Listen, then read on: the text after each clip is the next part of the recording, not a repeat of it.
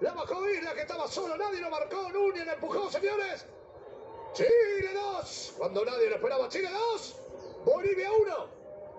Y algunas iban a mandar en el fondo boliviano, ¿eh? Mucha distracción, insólita distracción, la suelta Alexis para Isla y se desprende y se descuelga muy bien Marcelino Núñez.